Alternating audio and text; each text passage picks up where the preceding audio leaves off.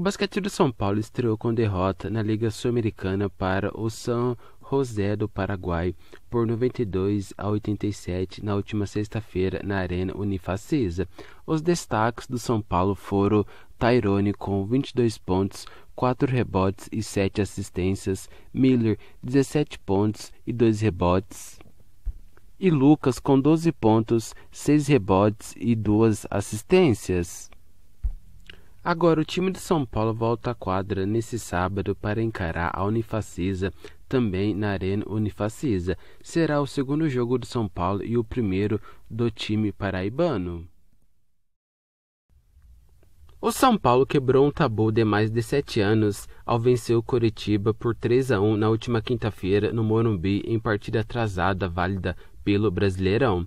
Graças aos gols de Luciano e Caleri, o São Paulo conquistou sua primeira vitória sobre o Coxa no Morumbi desde 2015. Até então, o último triunfo do São Paulo jogando em casa contra o rival paranaense havia acontecido quando Ceni, hoje técnico, ainda era goleiro.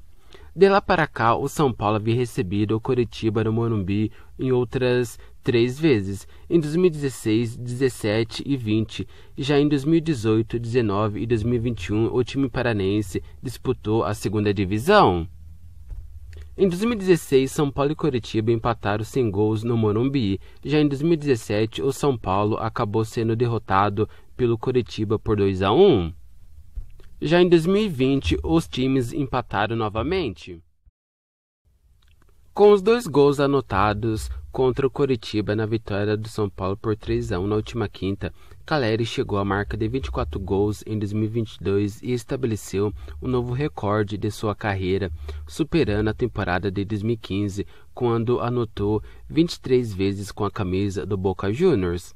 Referência no ataque do São Paulo, Caleri disputou 61 jogos no ano e com isso registra uma média de 0.39 gols por jogo. Há sete temporadas, quando teve até então o seu melhor ano como profissional, o argentino apresentou uma média inferior de 0.38 gol por jogo. Dos 24 gols de Caleri neste ano, 15 aconteceram em jogos do Brasileirão. O São Paulino é o terceiro colocado na lista de artilheiros da Série A, atrás apenas de Cano do Fluminense com 18 e Pedro Raul do Goiás, que tem 17. Os outros oito gols foram anotados no Paulistão, competição em que o argentino ficou com o troféu de vice-artilheiro atrás apenas de Ronaldo da Inter de Limeira, que fez um gol a mais. O argentino também balançou as redes adversárias uma vez na Copa Sul-Americana. Depois de receber o artificial do futebol francês por Léo e do inglês por Luizão, o São Paulo pode estar perto de perder mais um nome do seu elenco, o volante Pablo Maia. Os valores são mantidos em segredos, assim como a intenção do São Paulo em aceitar ou não o negócio. O staff de Maia também não falou nada. O lance apurou por fontes da cúpula São Paulina que aponta que o Furra também da Liga Inglesa fez ao São Paulo uma oferta oficial para contar com o jogador de 20 anos, já na reabertura da janela de transferências europeia em janeiro. Não é algo surpreendente. Desde agosto, o volante vem sendo monitorado por clubes ingleses após ele se destacar como a melhor revelação são paulina na Copinha. Titular da equipe do técnico Rogério Ceni, que chegou à semifinal da competição de base, Pablo Maia foi logo promovido ao time profissional de Ceni.